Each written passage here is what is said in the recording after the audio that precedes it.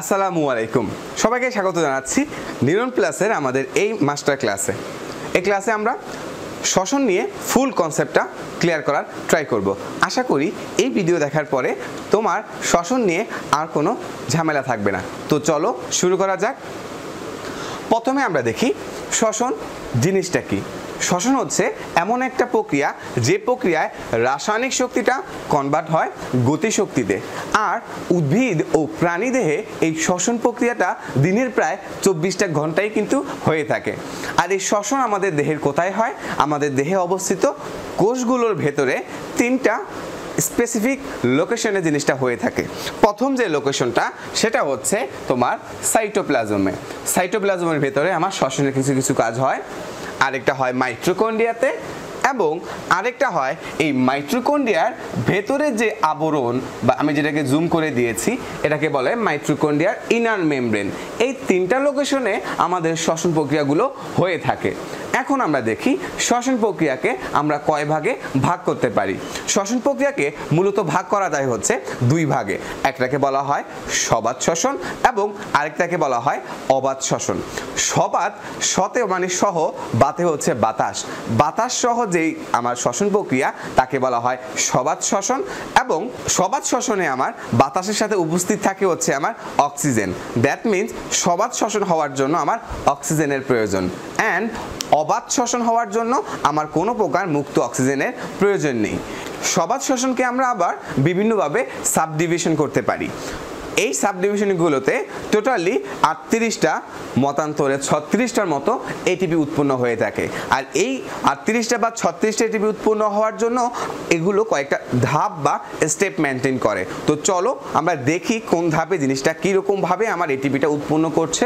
প্রথম সবাদ শ্বসনের যেই ধাপটা, সেটাকে বলা হবে গ্লাইকোলাইসিস। সবাদ শ্বসনের আমার প্রথম যে ধাপটা, সেটাকে বলা হয় গ্লাইকোলাইসিস। গ্লাইকোলাইসিস ধাপটা হচ্ছে এমন এক প্রক্রিয়া, গ্লাইকো শব্দের মানে হচ্ছে সুগার, আর লাইসিস মানে হচ্ছে ভাঙা। যে প্রক্রিয়ায় সুগারকে ভাঙা হয়, তাকে বলা হয় গ্লাইকোলাইসিস। আর সুগার বলতে আমরা এখানে স্পেসিফিকভাবে বলতে চাচ্ছি গ্লুকোজকে। যদিও সেটা হয় সুক্রোজ, তো গ্লুকোজকে ভেঙে যদি আমরা পাইরুবিরিক অ্যাসিড পাই, তবে সেই প্রক্রিয়াকে বলা হবে গ্লাইকোলাইসিস। তার মানে গ্লুকোজকে যদি সুগার ধরি সুগারকে আমি লাইসিস করছি। দ্যাট মিনস সুগারকে আমি ভাঙছি। ভাঙার ফলে আমি যে জিনিসটা পাচ্ছি, সেটা হচ্ছে আমার পাইরুবরিক অ্যাসিড এবার দেখো গ্লুকোজ মূলত হচ্ছে আমার ছয় কার্বনের, ওকে? তার ফলে যে ইন প্রোডাক্টটা পাচ্ছি, সেটা হচ্ছে আমার পাইরুবিরিক অ্যাসিড আর যেটা হচ্ছে তিন কার্বনের। তাহলে তুমি বলো তো, এখানে এক অণু গ্লুকোজ ভেঙে কয় অণু পাইরুবিক অ্যাসিড হয়? এক্স্যাক্টলি এক অণু গ্লুকোজ ভেঙে আমার পাইরুবিক অ্যাসিড উৎপন্ন হচ্ছে দুই অণু। ক্লিয়ার কারণ পাইরুবিক অ্যাসিড হচ্ছে আমার তিন কার্বনের, আর গ্লুকোজ হচ্ছে আমার ছয় কার্বনের। ছয় আর তিন, দুই দিয়ে তিন দিয়ে ভাগ দাও, দুই অণু তুমি পাচ্ছ পাইরুবেরিক অ্যাসিড। এই পাইরুবে, এই যে প্রক্রিয়াটা গ্লুকোজ থেকে অ্যাসিড উৎপন্ন হওয়ার প্রক্রিয়া, এটাকে বলা হয় গ্লাইকোলাইসিস।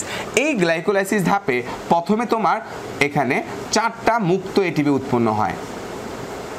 কয়টা মুক্ত এটিপি উৎপন্ন হয়? চারটা মুক্ত এটিপি উৎপন্ন হয়।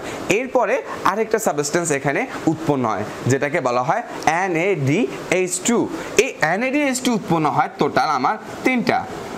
NADH2 তোমাদের জন্য, জানার জন্য বলি, প্রতিটি NADH2 দুটি করে এটিপি উৎপন্ন করতে পারে। আর আমি এখানে পেয়েছি তিনটি NADH2 তাহলে একটা যদি দুইটা করে পারে, তাহলে তিনটা কয়টা পারবে? ছয়টা। তার মানে টোটাল এখানে আমার NAD থেকে ইনডাইরেক্টলি এটিপি উৎপন্ন হচ্ছে ছয়টি। তা তুমি গ্লুকোজ থেকে পাইরুবিক অ্যাসিডের যে ধাপগুলো এখানে প্রায় আছে নয়টা ধাপ। এই নয়টা ধাপের ভেতরে বিভিন্ন ধাপে এগুলো উৎপন্ন হয়ে থাকে। ডাইরেক্টলি পাচ্ছ চারটে এটিপি এবং ইনডাইরেক্টলি পাচ্ছ ছয়টা এটিপি টোটাল এটিপির সংখ্যা দাঁড়াল আমার গ্লাইকোলাইসিস প্রক্রিয়ায় দশটি। এই দশটা এটিপি আমি গ্লাইকোলাইসিস ধাপে পাই। বাট এই গ্লাইকোলাইসিস ধাপে আবার দুইটা এটিপি আমার খরচ হয়ে যায়। খরচ হয়ে গেলে তোর আমার দুইটা এটিপি আমার খরচ হয়ে যায়। যদি দুইটা এটিপি আমার খরচ হয়ে যায়, তাহলে বাকি থাকে কয়টা? মোট ছিল দশটা, দুইটা খরচ হয়ে গিয়েছে। বাকি থাকে আমার হচ্ছে আটটা এটিপি তার মানে আমি গ্লাইকোলাইসিস ধাপে পেলাম আটটা এ টি পি এরপরে গ্লাইকোলাইসিস ধাপের পরে যেই ধাপটা আমরা পাই, সেটা হচ্ছে অ্যাসিটাইল কোয়ে এই অ্যাসিটাইল কোয়েটা আমার ক্রিয়েট হয় পরবর্তী ধাপে। আর এই ক্ষেত্রেও আমি এটিপি পাই, প্রায় ছয়টার মতো এটিপি পাই। আর এখানে এই অ্যাসিটাইল কোয়ে গ্রুপটা আমার সরবরাহ করতে হয় পরবর্তী একটা সাইকেলে। সেই সাইকেলটাকে বলা হয় ক্রেপ সাইকেল বা ক্রেপস চক্র। এই ক্রেপ চক্রে টোটাল আমার এটিপি উৎপন্ন হয় চব্বিশটার মতো। কয়টা এটিপি উৎপন্ন হয়? চব্বিশটা। তো জিনিসটা আমরা আরেকবার দেখি। প্রথমে আমার গ্লাইকোলাইসিসে এটিপি উৎপন্ন হচ্ছে আটটা। অ্যাসিটাইল কোয়ে যখন ক্রিয়েট হচ্ছে, তখন আমার এটিপি উৎপন্ন হচ্ছে ছয়টা। ক্রেপ চক্রে যখন যাচ্ছে, তখন এটিপি উৎপন্ন হচ্ছে আমার চব্বিশটা। এই যে তিনটা ধাপ অলরেডি দেখলাম, এরপরে লাস্টে যে আমার ধাপটা সবাদ শ্বসনের ক্ষেত্রে, সেটাকে বলা হয় ইটিএস বা ইলেকট্রন ট্রান্সপোর্ট সিস্টেম অনেকে এই ইলেকট্রন ট্রান্সপোর্ট সিস্টেমকে রেসপিটরি চেইনও বলা হয়।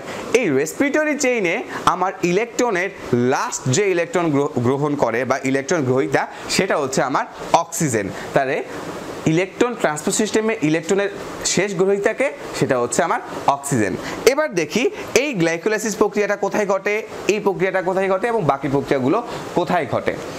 প্রথমত এই গ্লাইকোলাইসিস প্রক্রিয়াটা আমার ঘটে সাইটোপ্লাজমে। তার মানে গ্লাইকোলাইসিসটা ঘটতেছে আমার কোষের ভেতরে অবস্থিত সাইটোপ্লাজমে। এসিটাইল কোয়ে কোথায় ঘটে? এসিটাইল কোয়েটা আমার ক্রিয়েট হয় আমার মাইট্রোকন্ডিয়াতে ওকে? আমার ক্রেপ চক্রটা কোথায় ঘটে? ক্রেপ চক্রটাও আমার ঘটে মাইট্রোকন্ডিয়াতে এবার আসো লাস্টের ইলেকট্রন ট্রান্সপোর্ট সিস্টেম এই ইলেকট্রন ট্রান্সপোর্ট সিস্টেমটা কোথায় ঘটে? এটা ঘটে আমাদের লাস্টে যেটা বলেছি যে মাইট্রোকন্ডিয়ার ইনার মেমব্রেনে ওকে এটা হচ্ছে আমার মাইট্রোকন্ডিয়ার ইনার মেমব্রেন এই মাইট্রোকন্ডিয়ার ইনার মেমব্রেনে হচ্ছে আমার ইলেকট্রন ট্রান্সপোর্ট সিস্টেমটা ঘটে। এবার তো আমরা সবাদ শ্বসন বুঝে ফেললাম যে সবাদ শ্বসনে আমরা জিনিসটাকে গ্লাইকোলাইসিড গ্লাইকোলাইসিস অ্যাসিডাই কোয়ের সৃষ্টি ক্রেপ চক্র অ্যান্ড ইলেকট্রন ট্রান্সপোর্ট সিস্টেম এই ভাগে ভাগ করতে পারি। সবাদ শ্বসন শেষ।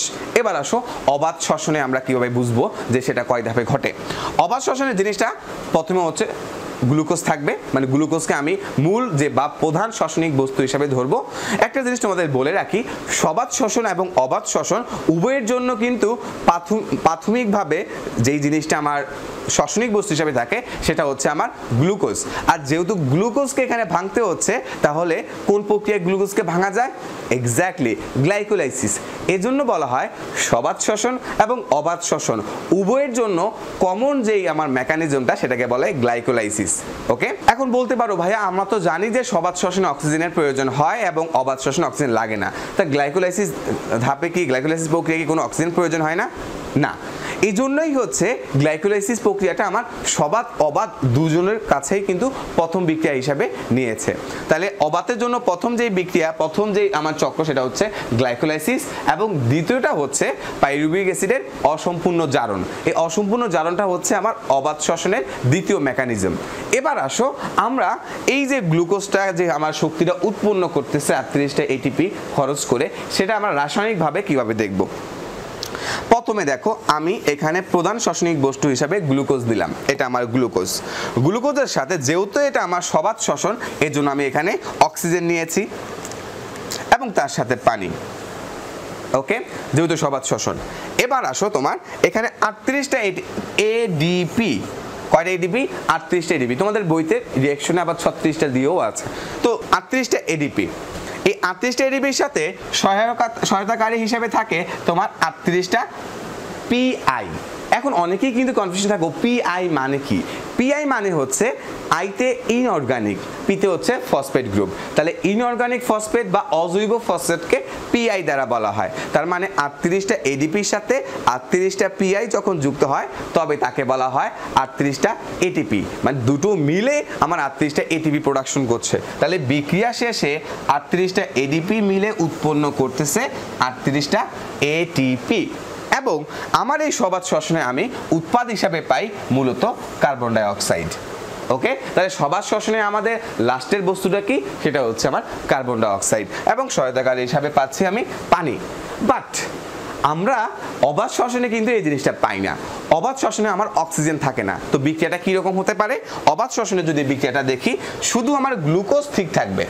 আমার অক্সিজেন থাকবে না, পানি থাকবে না আটত্রিশটা এটিপিও থাকবে না, আর আটত্রিশটা ইনঅর্গানিক ফসফেটও থাকবে না।